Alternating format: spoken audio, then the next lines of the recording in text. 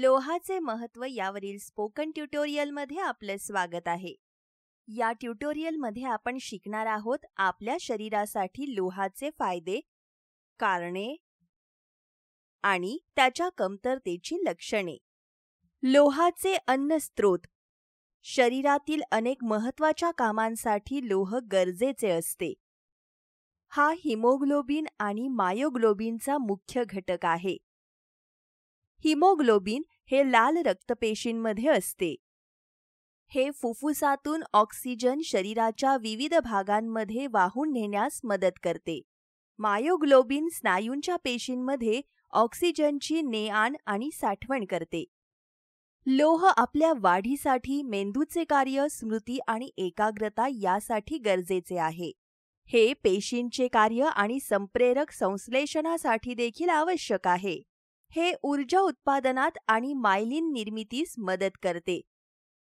Myelin हा एक insulation थर आहे जो नसांभोवती तयार होतो. लोह प्रतिकारशक्ती मजबूत राखण्यासही मदत करते आणि आतड्याचे आरोग्य सुधारते. आपल्या शरीरात लाल रक्तपेशींमध्ये सत्तर टक्के लोह असते. फेरिटिन म्हणून हे यकृत प्लीहा आणि अस्थिमज्जांमध्ये पंचवीस टक्के साठवले जाते. लोहाचा सहा टक्के भाग हा प्रथिनेचा घटक आहे. रोगप्रतिकारक कार्ये चयापचय आणि कोलेजन संश्लेषणासाठी प्रथिने आवश्यक आहेत. आता आपण लोहाच्या कमतरतेची कारणे जाणून घेणार आहोत. कमी प्रमाणात लोहाचे सेवन करणे आणि त्याचे कमी शोषण होणे ही त्याच्या कमतरतेची मुख्य कारणे आहेत. जंताचा संसर्ग जीवाणू आणि विषाणूजन्य संसर्ग ही इतर काही कारणे आहेत. मासिक पाळी आणि प्रसूती दरम्यान जास्त प्रमाणात रक्त कमी झाल्यामुळे देखील कमतरता होऊ शकते. शिसे विषबाधा हा एक आणखी घटक आहे ज्यामुळे लोह कमी होऊ शकते. शिसे विषबाधेमध्ये हिमोग्लोबिनचे उत्पादन कमी होते. मलेरियामुळे लाल रक्तपेशींचा अधिक प्रमाणात नाश होणे हा देखील एक जोखमीचा घटक आहे. मुदत पूर्ण केलेल्या गर्भवती महिलांमधील लोहसाठा लहान मुलांची लोहाची गरज पूर्ण करू शकतो. बाळ चार ते सहा महिन्यांचे होईपर्यंत हे पुरेसे आहे. तरी देखील वेळेआधी जन्मलेल्या आणि कमी वजनाच्या बाळांचा लोहसाठा कमी असतो. पहिल्या दोन महिन्यात त्यांना ते अपुरे पडते. लोहाची कमतरता असलेली गर्भवती स्त्री गर्भाला देखील कमी प्रमाणात लोह पुरवते. गर्भातील लोहाच्या कमतरतेमुळे गर्भाच्या मेंदूतील लोहाचे प्रमाण कमी होते. त्याचा बाळाच्या मेंदूच्या कार्यावरही परिणाम होतो. मुले आणि किशोरवयीन मुलांना लोहाच्या कमतरतेचा धोका जास्त असतो. प्रजनन करणाऱ्या वयातील महिलांनाही धोका असतो. आता मी तुम्हाला लहान मुलांमध्ये लोहाची कमतरता का होते याची कारणे सांगेन. मुलांमधील सर्वात सामान्य कारण म्हणजे अपुरे सेवन आणि जलद वाढ जन्मताच कमी वजन हे आणखी एक कारण आहे. लोहाच्या कमतरतेमुळे अशक्तपणा येतो. अशा परिस्थितीत शरीरातील लोहसाठा कमी होतो. यामुळे उती आणि लाल रक्तपेशींना लोह कमी प्रमाणात पुरवले जाते. लोहाच्या कमतरतेची चिन्हे आणि लक्षणे समजून घेऊ. ठिसूळ नखे किंवा चमचे नखे लोहाच्या कमतरतेची लक्षणे आहेत. चमचा नखांमधून मऊ नखे बाहेर आलेली दिसतात. याच्या कमतरतेमुळे त्वचा निस्तेज होते आणि जिभेला सूज देखील येते. अशक्तपणा धाप लागणे डोकेदुखी थकवा ही इतर उदाहरणे आहेत.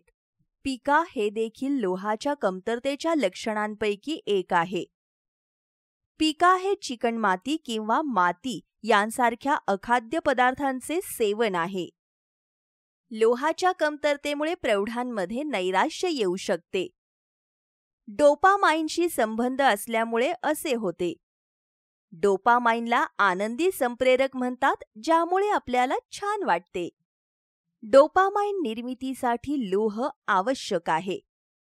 लोहाच्या कमतरतेमुळे डोपामाइनची पातळी कमी होते. लोहाच्या कमतरतेमुळे लहान बाळांवर आणि मुलांच्या आरोग्यावर गंभीर परिणाम होतो. गरोदरपणात लोहाची कमतरता ही गर्भाला लोहाची कमतरता निर्माण करू शकते. यामुळे भाषा शिकण्यावर आणि मुलांच्या वागणुकीवर परिणाम होऊ शकतो. बदललेले समन्वय आणि मुलांच्या गतिशीलतेचे कार्य देखील पाहिले जाते.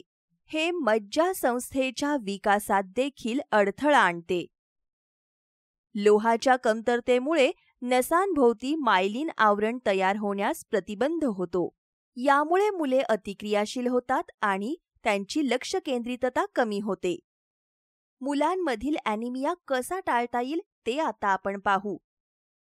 जन्माच्या वेळी नाळ बंद करण्यास उशीर हे लोहाची कमतरता टाळण्यास मदत करते.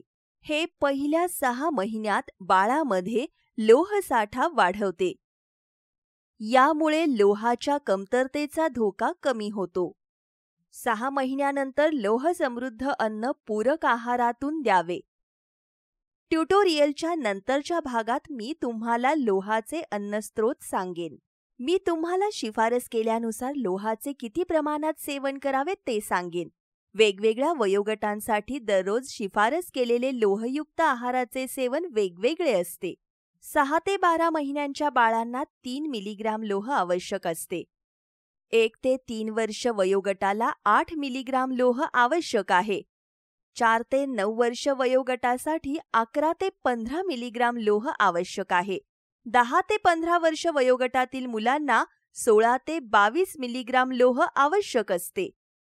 दहा ते पंधरा वर्ष वयोगटातील मुलींना सोळा ते तीस मिलीग्राम लोह आवश्यक असतात. प्रौढ पुरुषांसाठी ते एकोणीस मिलीग्राम आहे. प्रौढ महिलांसाठी ते एकोणतीस मिलीग्राम आहे.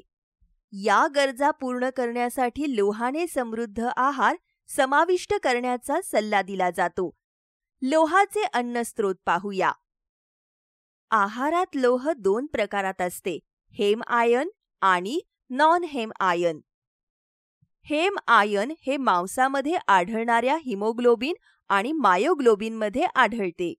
त्यामुळे मांसाहारी अन्न हे हेम आयनचे चांगले स्रोत आहेत. उदाहरणार्थ बकरीचे मांस कोंबडी बकरीचे काळीज आणि मेंदू. नॉन हेम आयन हे शाकाहारी जेवणातून मिळते. उदाहरणार्थ वेलीवर्गीय शेंगा धान्ये आणि हिरव्या पालेभाज्या हेम आयन शरीरात चांगले शोषले जाते. नॉन हेम आयन चांगले शोषले जात नाही आणि काही घटकांचा त्यावर परिणाम होतो. त्यातील केवळ सतरा टक्के आयन शोषले जाते. अन्नामध्ये असलेले कॅल्शियम आणि फायटेट्स नॉन हेम आयनचे शोषण रोखतात. भाजणे मोड आणणे आणि आंबवणे यामुळे फायटेट घटक कमी होण्यास मदत होते. मोड आणणे किंवा आंबवण्याची प्रक्रिया इतर ट्युटोरियलमध्ये स्पष्ट केली आहे. अधिक माहितीसाठी आमच्या संकेतस्थळाला भेट द्या. लोहाचे शोषण सुधारण्यासाठी क जीवनसत्वाची शिफारस केली जाते. क जीवनसत्व लोहाचे अधिक चांगले शोषण करण्यास मदत करते. नॉनहेम आयन हे हेम आयन सोबत घेतल्यास शोषण सुधारते. आता आपण विविध खाद्यपदार्थांमधील लोह किती प्रमाणात असते ते पाहणार आहोत. शंभर ग्रॅम बकरीच्या काळजामध्ये सुमारे सहा मिलीग्राम लोह असते. शंभर ग्रॅम मटणात अंदाजे दोन मिलीग्राम असते. शंभर ग्रॅम कोंबडीच्या ब्रेस्टमध्ये जवळपास एक मिलीग्राम लोह असते. शंभर ग्रॅम पालकमध्ये अंदाजे दोन पॉइंट नऊ मिलीग्राम लोह असते. तीस ग्रॅम राजमामध्ये सुमारे एक पूर्णांक आठ मिलीग्राम लोह असते. उत्तम आरोग्यासाठी रोजच्या आहारात या पदार्थांचा समावेश करा. यासह आपण या ट्युटोरियलच्या समाप्तीकडे आलो आहोत. सहभागाबद्दल धन्यवाद!